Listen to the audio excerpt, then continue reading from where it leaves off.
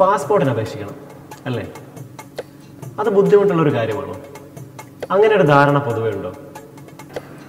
എന്നാൽ ആ ധാരണ തെറ്റാണെന്ന് മാത്രമല്ല പാസ്പോർട്ട് ഓൺലൈൻ വഴി അപേക്ഷിക്കാൻ വളരെ സിമ്പിളും കൂടിയാണ്. എങ്ങനെയാണ്?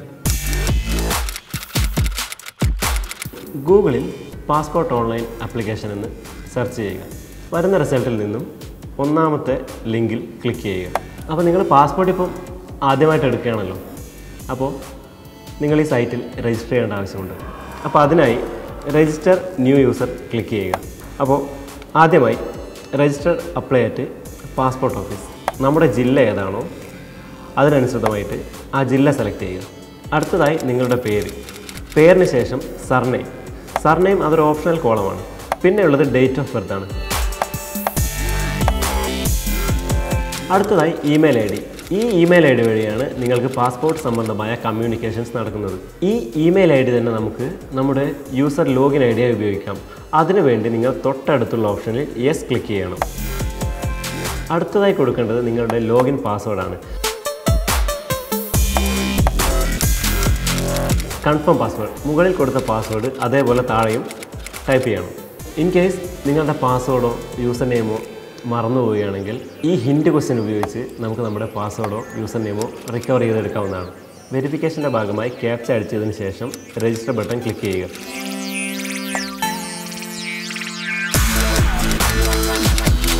നിങ്ങൾ കൊടുത്ത കമ്മ്യൂണിക്കേഷൻ മെയിലിലേക്ക് ഒരു വെരിഫിക്കേഷൻ മെയിൽ വരും. മെയിൽ ലോഗിൻ ചെയ്തതിന് ശേഷം ഈ കൺഫർമേഷൻ മെയിൽ ക്ലിക്ക് ചെയ്യുക.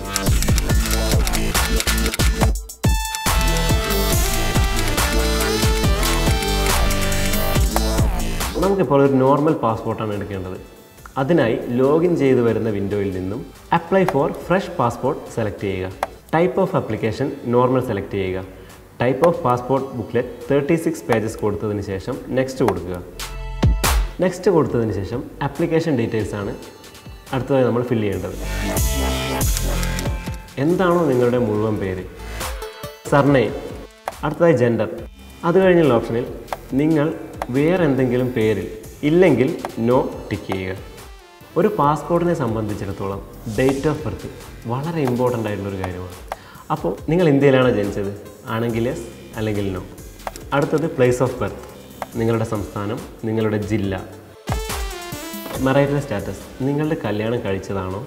അതോ സിംഗിൾ ആണോ? ഡൈവോഴ്സ്ഡ് ആണോ? സെപ്പറേറ്റഡ് ആണോ? പാൻ കാർഡ് ഓപ്ഷണലാണ് വോട്ടർ ഐ ഡി അതും ഓപ്ഷണലാണ് അടുത്തതായി നിങ്ങളുടെ എംപ്ലോയി ടൈപ്പ് നിങ്ങൾ എന്ത് തരം തൊഴിലാണ് ചെയ്യുന്നത്? ഇനി അഥവാ തൊഴിൽ രഹിതനാണോ? സ്റ്റുഡന്റ് ആണോ? ഇനി പ്രൈവറ്റ് സെക്ടറിലാണോ ജോലി ചെയ്യുന്നത്? ഗവൺമെന്റ് സെക്ടറിലാണോ ജോലി ചെയ്യുന്നത്? അതിനനുസരിച്ച് നിങ്ങൾക്ക് അവിടെ സെലക്ട് ചെയ്യാവുന്നതാണ്. നിങ്ങളൊരു മൈനറാണെങ്കിൽ നിങ്ങളുടെ അച്ഛനോ മറ്റ് റിലേറ്റീവോ ഗവൺമെന്റ് സർവീസിലുണ്ടോ എന്ന് ചോദിച്ചുകൊണ്ടുള്ളൊരു ഓപ്ഷനാണിത് നെക്സ്റ്റ് എഡ്യൂക്കേഷണൽ ക്വാളിഫിക്കേഷൻ അടുത്തത് is applicant eligible for non E C R category അത് നോ കൊടുക്കുക. അടുത്ത ഓപ്ഷൻ വിസിബിൾ ഡിസ്റ്റിംഗ്വിഷ് മാർക്ക് അത് ഓപ്ഷണലാണ് എന്താണോ നിങ്ങളുടെ ആധാർ നമ്പർ അതിവിടെ ടൈപ്പ് ചെയ്യുക. ഐ എഗ്രി ക്ലിക്ക് ചെയ്തതിന് ശേഷം നെക്സ്റ്റ് കൊടുക്കുക. ഈ വിൻഡോയിൽ നമ്മൾ ഫില്ല് ചെയ്യേണ്ടത് നമ്മുടെ ഫാമിലി ഡീറ്റെയിൽസ് ആണ്. Is your present address out of India ഇന്ത്യയ്ക്ക് പുറത്താണെങ്കിൽ യെസ് അല്ലെങ്കിൽ നോ കൊടുക്കുക. അടുത്തതായി റിസൈഡിങ് സിൻസ് നിങ്ങളിപ്പോൾ താമസിക്കുന്ന വീട്ടിൽ എത്ര കാലമായി താമസിക്കുന്നു എന്നുള്ളൊരു ഓപ്ഷനാണിത് അതിനുശേഷം house number and street name ശേഷം village town city state district അത് സെലക്ട് ചെയ്യണം. അടുത്ത ഓപ്ഷനിൽ ശ്രദ്ധിക്കേണ്ട ഒരു കാര്യം പോലീസ് സ്റ്റേഷൻ ഏതാണോ പോലീസ് സ്റ്റേഷൻ നിങ്ങളുടെ വീടിരിക്കുന്ന പോലീസ് സ്റ്റേഷൻ പരിധി ഏതാണോ അത് വളരെ കൃത്യമായി സെലക്ട് ചെയ്യണം. Pincode mobile number telephone number telephone number ഓപ്ഷണലാണ് അതുപോലെ ഇമെയിൽ ഐ ഡി അതും ഓപ്ഷണലാണ് നമ്മളിപ്പോൾ കൊടുത്ത അഡ്രസ്സ് ഇതാണ് നിങ്ങളുടെ പെർമനന്റ് അഡ്രസ്സ് എങ്കിൽ ഇവിടെ യെസ് കൊടുക്കുക. അതിനുശേഷം നെക്സ്റ്റ് ക്ലിക്ക് ചെയ്യാം. അടുത്തത് എമർജൻസി കോൺടാക്റ്റ് ഈ എമർജൻസി കോണ്ടാക്ട് നിങ്ങളുടെ പാസ്പോർട്ടുമായി ബന്ധപ്പെട്ട് പോലീസ് സ്റ്റേഷനിലോ പാസ്പോർട്ട് സേവാ കേന്ദ്രത്തിനോ ഏതെങ്കിലും തരത്തിലുള്ള അന്വേഷണമോ മറ്റ് കോണ്ടാക്റ്റോ ആവശ്യമാണെങ്കിൽ നിങ്ങളുടെ ഏറ്റവും അടുത്ത സുഹൃത്തിന്റെയോ അടുത്ത വീട്ടിലെയോ അഡ്രസ്സോ ഫോൺ നമ്പറും ഇവിടെ കൊടുക്കാവുന്നതാണ്. അടുത്തതായി ഐഡന്റിറ്റി സർട്ടിഫിക്കറ്റ് പാസ്പോർട്ട് ഡീറ്റെയിൽസ്. ഇത് ടിബറ്റ് പോലെയുള്ള പ്രത്യേക സ്ഥലങ്ങളിൽ താമസിക്കുന്നവർക്കുള്ളൊരു ഓപ്ഷനിലാണ്. ഒരു നോർമൽ പാസ്പോർട്ട് എടുക്കുന്ന ഒരു വ്യക്തിക്ക് ഇതിൽ നോ ഓപ്ഷൻ സെലക്ട് ചെയ്യുക. അടുത്തതായി details of previous or current official passport. Have you ever applied for passport but not issue നിങ്ങൾ ഇതിനു മുമ്പ് പാസ്പോർട്ട് അപ്ലൈ ചെയ്തിട്ടുണ്ടെങ്കിൽ അത് റിജക്റ്റ് ചെയ്തിട്ടുണ്ടെങ്കിൽ അത് ആ ഒരു കാര്യം ഇവിടെ പ്രത്യേകം രേഖപ്പെടുത്തണം. അതിനുശേഷം നെക്സ്റ്റ് ക്ലിക്ക് ചെയ്യാം.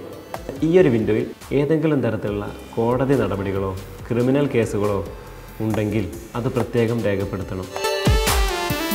അടുത്ത വിൻഡോയിൽ നമുക്ക് ലഭിക്കാൻ പോകുന്ന പാസ്പോർട്ടിന്റെ ഒരു മാതൃക. അത് നമുക്ക് കാണാവുന്നതാണ്. ഇപ്പോൾ ഇവിടെ കാണിച്ചിരിക്കുന്ന വിവരങ്ങളെല്ലാം നിങ്ങൾ കൊടുത്ത പ്രകാരമാണ് എന്ന് ഉറപ്പുണ്ടെങ്കിൽ നിങ്ങൾക്ക് അടുത്ത ഘട്ടത്തിലേക്ക് പോകാം.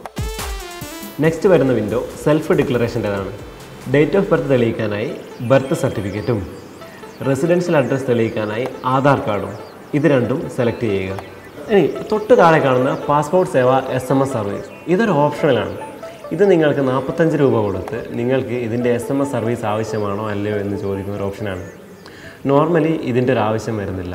ഇനി തൊട്ട് താഴെ കാണുന്ന വേറൊരു ഓപ്ഷനാണ് additional benefit for passport applicant സത്യത്തിൽ ഇത് നിങ്ങളുടെ വിവരങ്ങൾ ഒരു തേർഡ് പാർട്ടിക്ക് കൈമാറാനുള്ളൊരു ഓപ്ഷനാണ് ഇവിടെ നിങ്ങളുടെ സ്ഥലം ഡേറ്റ് തുടങ്ങിയവ എന്റർ ചെയ്തതിന് ശേഷം ഐ എഗ്രി ക്ലിക്ക് ചെയ്തതിന് ശേഷം സേവ് മൈ ഡീറ്റെയിൽസ് കൊടുക്കണം. ഇനി ഈ സേവ് ചെയ്ത ആപ്ലിക്കേഷൻ ഒന്നുകൂടി നമുക്ക് ക്രോസ് ചെക്ക് ചെയ്യാം. അതിനായി പ്രിവ്യൂ ആപ്ലിക്കേഷൻ ഫോം ക്ലിക്ക് ചെയ്യുക. പ്രിവ്യൂ ആപ്ലിക്കേഷൻ ക്ലിക്ക് ചെയ്യുമ്പോൾ നമ്മൾ കൊടുത്ത വിവരങ്ങൾ ഇപ്പോൾ ഈ മോണിറ്ററിൽ കാണാവുന്നതാണ്. ഇവിടെ എന്തെങ്കിലും തരത്തിലുള്ള തിരുത്തലുകളോ മാറ്റങ്ങളോ വേണമെങ്കിൽ ഉടനെ നമുക്ക് മാറ്റാവുന്നതാണ്. ഇനി അഥവാ മാറ്റമില്ലെങ്കിൽ ഇത് ക്ലോസ് ചെയ്യാം. നമ്മുടെ പാസ്പോർട്ട് ആപ്ലിക്കേഷൻ ഫില്ല് ചെയ്തു അത് സേവ് ചെയ്തു അത് ക്രോസ് ചെക്ക് ചെയ്തു തെറ്റൊന്നും കണ്ടില്ല. ഇനി നമ്മൾ സബ്മിറ്റ് കൊടുക്കുന്നു. ഇനി അടുത്തതായി പാസ്പോർട്ട് അപേക്ഷാ ഫീ അടക്കണം. നമുക്ക് പാസ്പോർട്ട് സേവാ കേന്ദ്രത്തിലേക്കുള്ള അപ്പോയിൻമെന്റ് ഫിക്സ് ചെയ്യണം.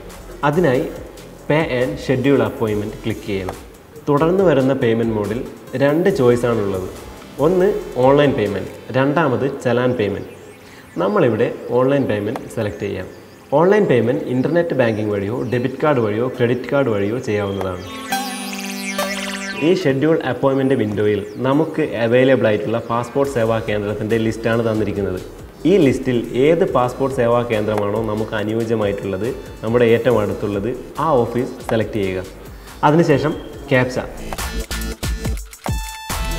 പേ ആൻഡ് അപ്പോയിൻമെന്റ് വിൻഡോ ആണ്. ഈ വിൻഡോയിൽ നമുക്ക് എപ്പോഴാണോ പാസ്പോർട്ട് സേവാ കേന്ദ്രത്തിൽ അപ്പോയിൻമെന്റ് ലഭിക്കേണ്ടത് ആ ഒരു ഡേറ്റ് സമയം നമുക്കിവിടെ നിന്നും സെലക്ട് ചെയ്യാവുന്നതാണ്. അടുത്തത് പേയ്മെന്റിനുള്ള ഓപ്ഷനാണ് അതിൽ നെറ്റ് ബാങ്കിങ്ങോ ക്രെഡിറ്റ് കാർഡോ ഡെബിറ്റ് കാർഡ് വഴിയോ നമുക്ക് പേയ്മെന്റ് ചെയ്യാവുന്നതാണ്. ഇപ്പം നിങ്ങൾക്ക് മനസ്സിലായില്ലേ? പാസ്പോർട്ടിന് ഓൺലൈൻ വഴി അപ്ലൈ ചെയ്യുക എന്നുള്ളത് ഇത്ര സിമ്പിളായിട്ടുള്ളൊരു കാര്യമാണ്. ഇനിയിപ്പോൾ ബൈ ഇലക്ഷനൊക്കെ വരികയല്ലേ? അപ്പോൾ ഒരു വോട്ടർ ഐ ഡി കാർഡ് എങ്ങനെ എടുക്കാമെന്നുള്ളത് നമുക്ക് നോക്കാം. അതിപ്പോൾ അല്ല അടുത്ത എപ്പിസോഡ്